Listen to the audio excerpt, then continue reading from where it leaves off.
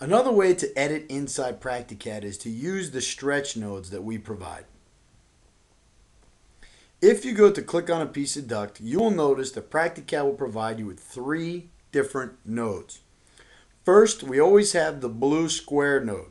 This represents the side of the duct or the hole point that PractiCAD has listed in the fitting parameter box. For example, here you can see in the fitting parameter box under the fitting tab, it says we're holding it by the in and therefore the in will be the blue square.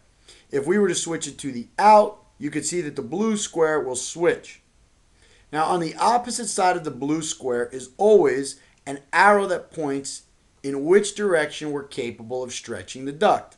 For example, if I would like to stretch the duct, I can click once with my left mouse button, pull it in the direction we want, and click again to release.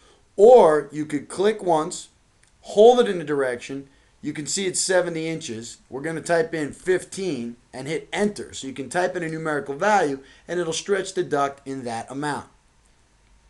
So if we would like to then take the duct on the opposite side and shrink it this way, we'd have to come up to the fitting parameter box.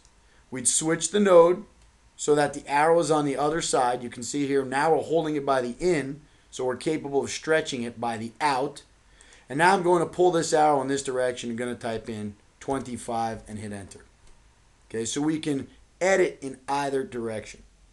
The last node you see are the double arrows. The double arrows have one specific function, to move a fitting or piece of duct up or down the order it is in a duct line. For example, here you can see we have a little 18 inch piece of duct. We're going to click on it. Then we're going to hold down with the left mouse button and we're going to drag this fitting to the right. Notice that it snaps to the next joint. If we now click on the button again and release, you can see that PractiCAD will move that fitting over.